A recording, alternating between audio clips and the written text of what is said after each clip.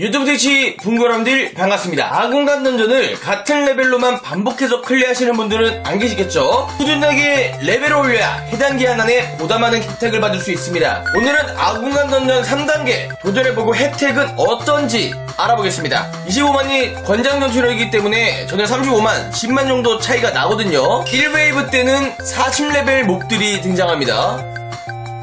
2웨이브 때는 43레벨 몬스터가 등장하네요. 3웨이브 때는 45레벨 몬스터가 등장합니다. 4웨이브 때는 47레벨 몬스터가 등장하네요. 총 5웨이브까지 존재를 하고요. 마지막에는 51 몹이 등장합니다. 55레벨 몹도 있네요. 보상 완료했고요. 과연 어떤 보상이 나올지 빛나는 모래시계 35개, 경험치 물약 20개, 모래시계 1300개를 얻었네요. 참고하시길 바라겠습니다. 다음 영상으로 찾아올게요. 안녕!